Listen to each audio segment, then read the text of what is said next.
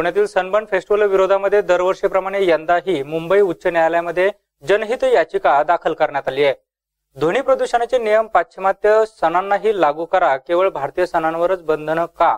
अशी मागणी करत अमोल बालवडकर यांच्या वतीने ही याचिका दाखल करण्यात आली आहे.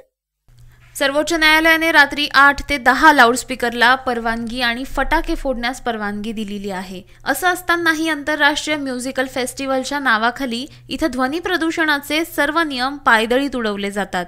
दुपारी तीन ते मध्यरात्री उशिरापर्यंत इथे डॉल्बी साऊंडवर डीजेचे कार्यक्रम कर्णकर्कश आवाजामध्ये सुरू असतात असा आरोप या याचिकेतून करण्यात आला आहे. याशिवाय ज्या ग्रामपंचायतीच्या हद्दीत हा कार्यक्रम होणार आहे. त्यांचीही पूर्व परवानगी घेतली नसल्याचा आरोप याचिकाकर्त्यांनी हायकोर्टात केला आहे. तसेच पंधरा वर्षांवरील सर्व व्यक्तींना इथं प्रवेश दिलेला असताना ते मद्यपान करणार नाहीत. याची काळजी आयोजक कशी घेणार? त्यासोबतच्या उपाययोजना काय? असा सवालही याचिकाकर्त्यांनी विचारला आहे.